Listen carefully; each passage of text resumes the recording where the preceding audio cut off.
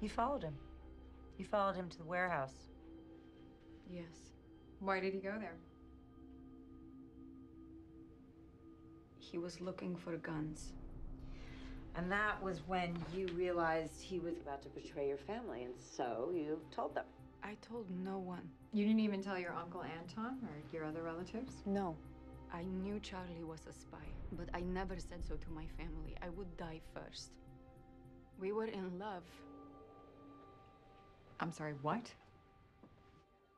I can show you our love letters. Ha! You mock Dewey. But not only was he a secret agent, look at that. He was a stud. It's Romeo and Juliet. With a nerdy Romeo. And a smoking hot Russian Juliet. We fell in love the moment we met.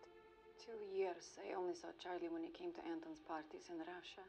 He knew I wanted to get away, away from that life.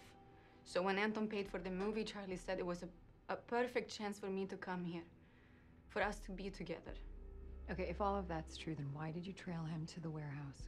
to beg him not to look for those guns. I was afraid my family would find out. And did they? No. If they knew, I would be dead too.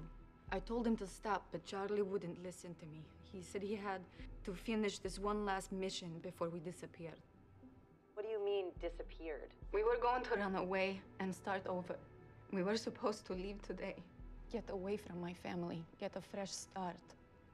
Charlie wanted to leave everything behind the spying, the acting, the stupid character of Dewey. What about his apartment? He just spent a lot of money renovating it. He was leaving that too. I mean, he could have gone to the roof for one last look at the place, say goodbye. He didn't have to. He knew it was in good hands. He was giving it to a friend. That's why he was there that night. Who's the friend?